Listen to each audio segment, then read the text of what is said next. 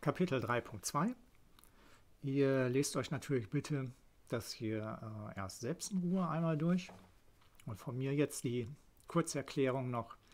Wir hatten ja mehrere Probleme festgestellt eben. Wir wollten einmal hier oben den Tabellenkopf hier ändern. Und hier ist ja die Lösung im Grunde verraten mit einem Alias-Namen. Wir brauchen also nur S schreiben und können dahinter schreiben, wie das heißen soll. Also wenn hier jetzt gerade Name steht, könnte ich auch S und oh ja, was schreibe ich denn hin? Mein Wunschname. Ach so, das jetzt sind jetzt mehrere Worte, das geht nicht. Muss ich, denke ich, zusammenschreiben. So, und dann ist der Tabellenkopf hier oben anders. Das habe ich jetzt gerade geraten. Ich hoffe, das war richtig. Einmal schnell ausprobieren. Ja.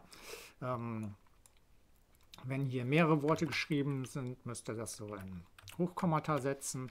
Wenn das nur ein Wort ist, ja, dann könnt ihr es auch ohne schreiben.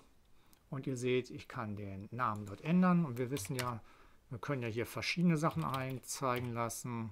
Äh, Einwohner, einfach nochmal was anderes anzeigen lassen. So, Einwohner, so wie wir das immer hatten.